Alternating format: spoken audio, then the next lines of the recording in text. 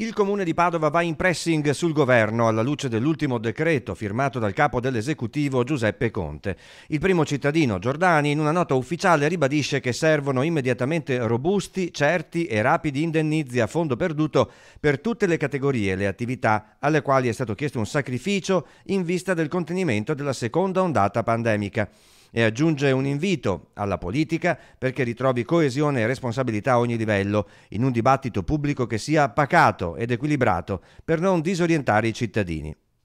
Unità delle istituzioni locali verso il governo la auspica anche chi sovrintende al commercio cittadino. Servono contributi a fondo perduto sulla base del fatturato che queste realtà perdono in questo momento.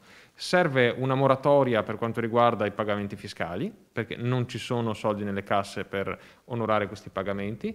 Bisogna che sia finanziata la cassa integrazione per pagare i dipendenti e ci vuole il credito d'imposta sugli affitti, cioè bisogna annullare i costi fissi di queste attività, perché se no vanno a picco se non hanno risorse per poter sostenere queste spese.